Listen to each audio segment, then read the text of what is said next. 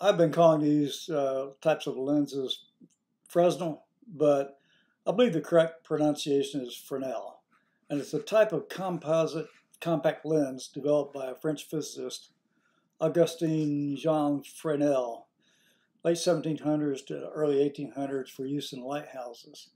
It has been called the invention that saved a million ships. Now, I'm not going to go into all and try to read all this to you. I'd highly recommend you go to the Wikipedia site on Fresnel lenses. It's a lot of good information. This is just a typical image in there of, a, of there's different ways of making these things. Very good information. I highly recommend you uh, go to it. Now, I purchased a couple of Fresnel lenses for solar heating experiments, but I found out that not all Fresnel lenses are made the same. Unlike the original glass lighthouse lenses, most modern Fresnel lenses are made out of acrylic. YouTube has numerous videos showing Fresnel lenses repurposed from old projection TVs. They're usually large and can work very well. I didn't have an old projection TV or access to one, so I purchased a 500 millimeter round Fresnel lens with a focal length of 500 millimeters and two 250 millimeter round Fresnel lenses with a focal length of 100 millimeters. These were from Amazon, but the Amazon vendor was uh, Six Seasons. These particular lenses, though, may or may not still be available, but this was a link uh, to them. Okay, let's take a look at uh, this diagram here this is from Wikipedia, this diagram right in here. This shows a plano convex lens, convex meaning this curved side, plano meaning the flat side. This would be a glass lens. You can look at one of my earlier videos. There'll be a link at the end. Shows you uh, how you can uh, uh, take a look at that magnifying sunlight. Now, in a Fresnel version of this, basically you're taking these curved elements from various segments of this curvature and just applying those to a much thinner surface, either glass or acrylic. Most modern ones are acrylic.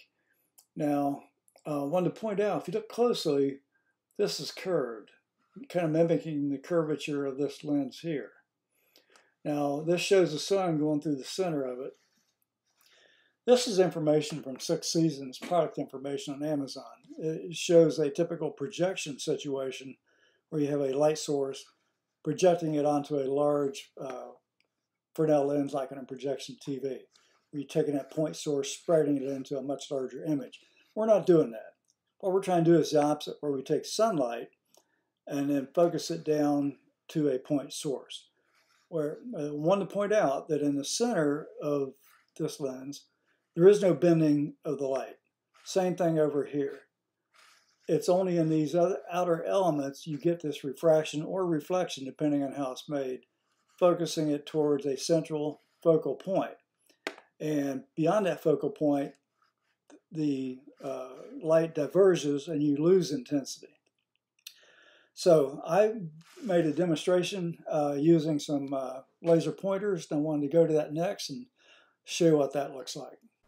First, I wanted to show you what a uh, a close-up view of this uh, five, 250 millimeter Fresnel lens I have looks like near the center. This is the best I could do with my uh, iPhone 12 Pro Max, but you can see the uh, center uh, on all the concentric circles of the grooves that have the various shapes, and they those shapes change as you progress in the center out to the outer edges. I should also point out Fresnel lenses are used as a way to uh, magnify print, make it easier to read, but uh, you need optically optical distortion-free lenses to do that. Uh, these particular lenses aren't necessarily the best for that. Now they make little uh, pocket-size lenses like uh, these here that you can use, keep in your wallet or your purse to make it easier to read print. And uh, and then as you can see here, um, it, it makes it easy. It's they usually actually work pretty good. So uh, that is another use for Fresnel lenses. Okay, this is my experimental setup. This is a just a model car modified for this. You may have seen it in my uh, earlier video called Gyroscopic Precession Powered Car. It's not doing that right now, but it's a convenient platform to be able to move these lasers around the experiment. This is a green laser pointer, blue laser pointer, red laser pointer. That's my 250 millimeter Fresnel lens. Uh, groove sides this way towards the lasers. So I've got it further than the focal length. Focal length is supposed to be 100 millimeters. It's further than that now, just to do a little demonstration um, where you can see the focal length with steam. So what we're going to do is I've got the lasers on. Um, green one's here, blue one's in center, red one's there. Okay, we're going to use a steamer so we can see the laser beams. You can't see a laser in space if there's no dust or moisture particles or uh, droplets or anything to scatter the light. So what we're going to do is use steam to scatter so we can get a little better look at that.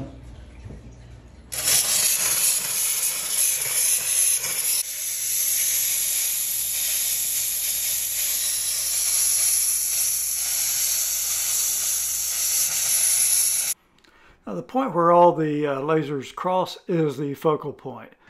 And you can see as you go beyond the focal point, they diverge and you lose intensity. This just makes it really easy to see that. Okay, this is the uh, support frame that I made for the Fresnel lens. This is just one inch PVC pipe.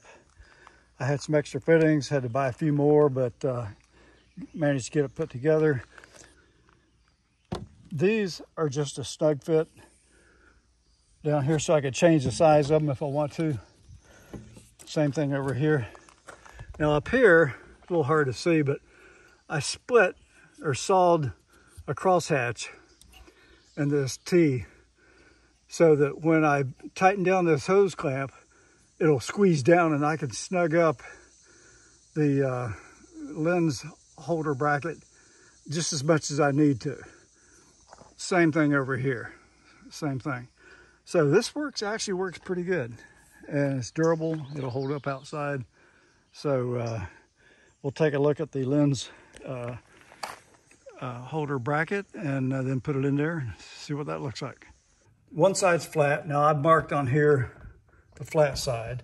I've got this centered in these one inch pieces of PVC pipe so that I can flip it around and it'll, it'll remain the same distance from the target.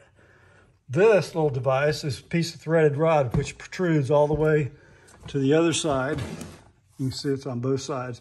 The idea of this is that when it's facing directly towards the sun, there should be minimal shadow here. And uh, that helps get it uh, as accurately aligned to the sun as you can within reason. These are just little pieces of one inch pipe that will fit in the uh, fittings on the uh, holder that I made and we'll take it out there and put it in and see what it does. But uh, now the other side I've got marked, see as having grooves, because this is the groove side. That way we can see which side works better when it's when that side is facing the sun versus the target. So we'll take this out, stick it in the uh, holder and, and stand and uh, see, why, see what we can do with it. Okay, we've got the uh, Fresnel lens with the bracket in the uh, stand. And these hose clamps are snug down so it'll pretty much stay where I put it. And they can rotate it all the way around to see which side works better. Now, for those of you who haven't done much experimentation with solar concentrating devices or focusing devices, it's the condition of the sky is extremely important. See the clouds, it completely uh, significantly reduces the uh, intensity of the sun. So don't even try to do an experiment like that. Now, we're in South Carolina in the summertime, trying to find a clear blue sky day, and this is July is nearly impossible. So we're gonna have to do a hit or miss thing when we have the clouds go away after rain or something. So we're not gonna do anything with it right now, but even a haze in the sky that you typically have in the summer causes indirect sunlight, and that drastically reduces it. I built a parabolic trough collector, which is one of my earlier videos. I really noticed it with that. Um, magnifying glasses, any kind of focusing lens, this Fresnel lens, they'll have the same issue. you need clear blue sky with the sun pointed directly at an incident on your device. And uh, so, you know, typical angle might be something like that. So if you don't have that, I wouldn't waste my time experimenting because you're going to get results that aren't indicative of what you can really get. Solar panels, the clouds really affect the performance, but focusing or concentrating um, devices like this lens or like a parabolic trough collector, they're worthless if if you don't have a focus directly at the sun and you don't have a clear sky. So just keep that in mind when you're doing your experiments. I did a video on my 12 kilowatt ground mount solar panels. You can see uh, in this next uh, little segment here the impact of clouds. The morning was partly cloudy. We had a few spikes down in kilowatts output. Then uh, around noontime or so, it just got really cloudy, started getting rainy and just wiped it out. So that makes a huge difference, even on uh, photoelectric uh, uh, panels. Now this is my parabolic trough collector I made uh, about seven years ago. Worked great, but it has to be focused directly at the sun.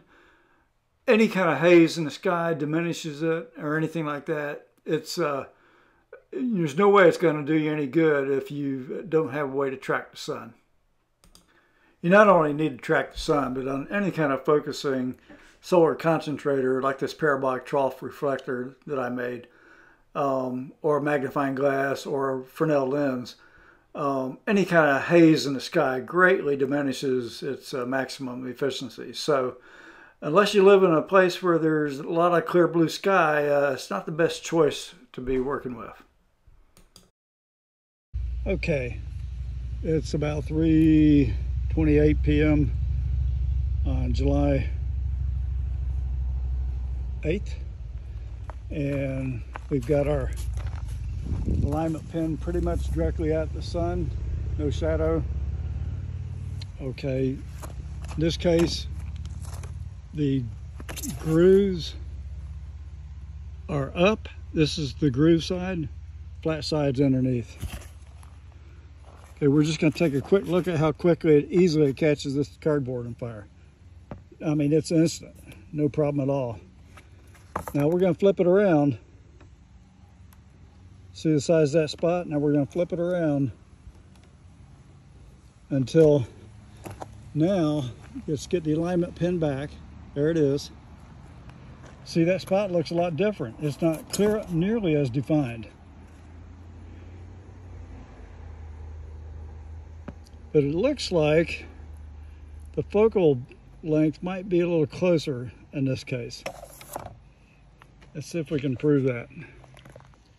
Okay, we've got our groove sides are down and uh, we're going to measure focal length to about try to approximate where the cardboard catches on fire.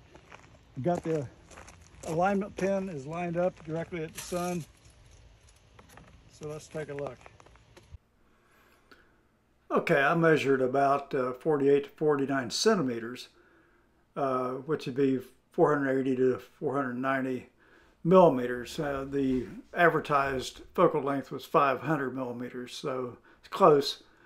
And uh, so what we did, uh, looked at it one way, then uh, flip it around and take another look at it and get it lined up again and we ended up with the uh, about the same focal length.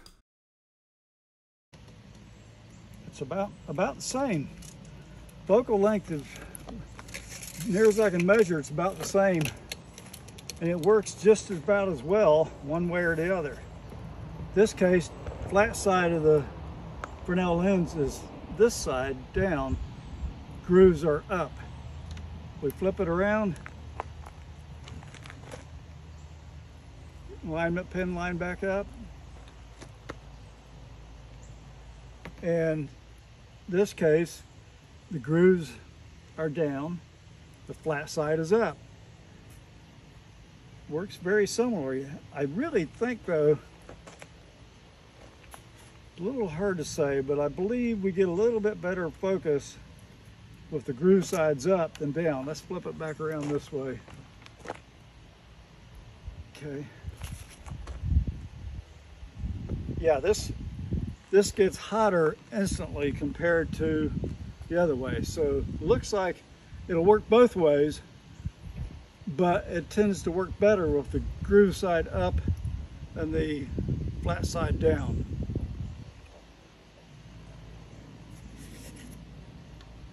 So if this was a plano convex lens, flat one side, convex the other, the top side would be the convex side, the bottom side would be the flat side. Fresnel lens is kind of like you flattened out a plano convex lens. But it, it works either way. Uh, and the, one of the main things that I've noticed is, and you can see it here, probably if you get slightly where we're not exactly in at the focal point. Let's get the camera.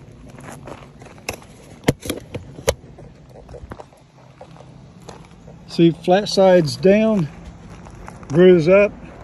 See that circle there? Okay. Now watch when I go the other way. In this case, flat sides up, grooves are down. It's not nearly as defined a focus. So I believe it really does work better with the grooves up towards the sun. And you get it up like this, and you know, it'll just, I mean, it's instant. It'll catch wood, whatever, on fire.